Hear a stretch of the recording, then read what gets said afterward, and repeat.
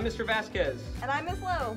So there's a lot of questions, concerns, and also misconceptions about what are safe practices in public spaces. So as we come back to school this year, we're going to give you an awesome little video to show you how to stay safe on campus. Here are some guidelines to follow when mask wearing is required. Cover your mouth when coughing or sneezing. Be sure your mask fits properly. Cover your mouth and nose areas, and also wear a mask in addition to clear face shields. Face shields protect entry points on your face, including your eyes, but may not protect others from droplets that are emitted into the air when someone coughs or sneezes. Let's look at some examples of how to properly wear a mask. Well, okay, that's a problem now. Your nose is exposed. Come on, try again, buddy. Oh, you're not even trying now. Okay, we need help. Miss Lowe, maybe you can help us out here. Perfect. Face is covered along with the nose and mouth area. Alright, let's talk about social distancing. Keep six feet between yourself and others. Maintain six feet while eating or drinking when your mask might be temporarily lowered. Follow directions posted on signs or on the floor. And remember, vaccination provides protection, but people can still transmit viruses. For this reason, it's important to cover your mouth and nose whenever you sneeze or cough. You might want to do the vampire move, which we're going to demonstrate for you later on. So here's an example of poor social distancing. Notice how there is no mindfulness of distance between others. And here's a much better example. Notice how both people are aware of the distance between themselves.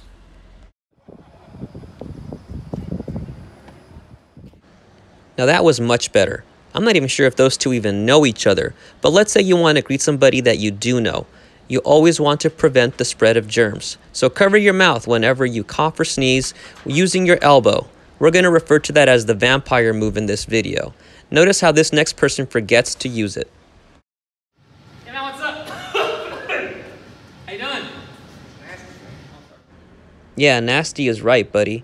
Now let's take a look at how to properly greet somebody. Maybe consider covering your mouth with one elbow and then greeting the person with the other. Man, how you doing?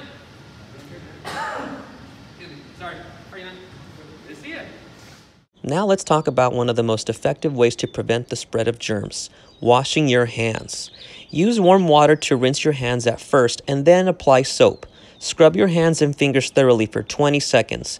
And don't forget to also scrub underneath your fingernails using the palm of your hand. We're going to demonstrate this for you momentarily. Notice how this person just rushes through the process and really does not know what he's doing.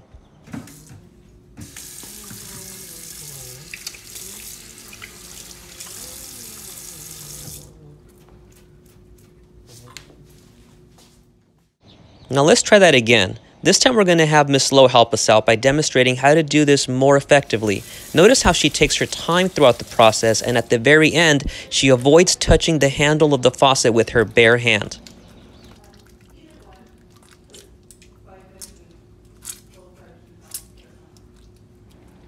Look how awesome of a job she's doing so far.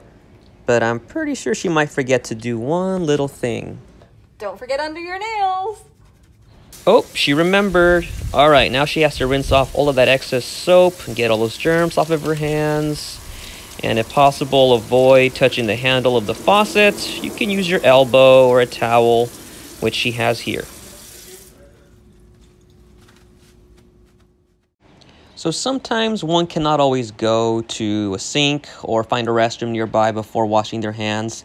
That is why we need to cover the topic of hand sanitizing. If you cannot wash your hands before eating or touching your face, you must hand sanitize. So use hand sanitizer if there is no access to soap and warm water. Sanitize your hands and fingers thoroughly for 20 seconds in a similar fashion as Miss Lowe showed you while washing her hands. And remember to sanitize under your fingernails as well. Do not hesitate to use hand sanitizer if it is provided for you. You can also bring your own, but be sure to actually follow through with the protocols, unlike this person here.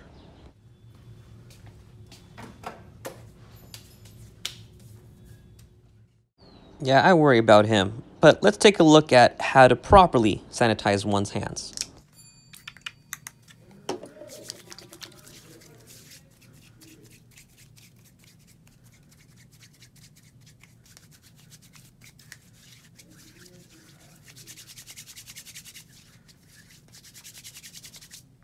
Don't forget under the nails.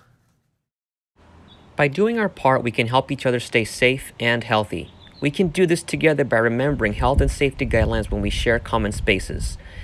Let's see what can happen if we forget, though.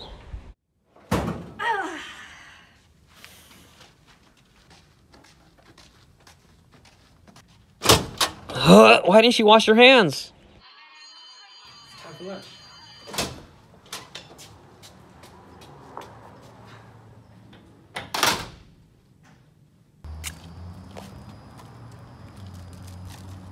Hey, Jesus, what's for lunch? Uh, donuts. Shouldn't you wash your hands?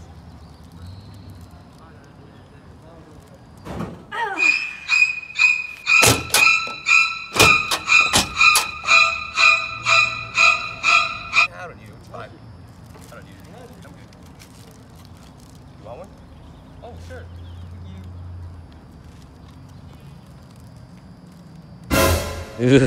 Well, thankfully it's just a movie, huh, folks? But remember, mask wearing, social distancing, washing hands, hand sanitizing, and following all health and safety guidelines are steps that we can take to be safe on campus. Thanks for watching and be safe, Warriors.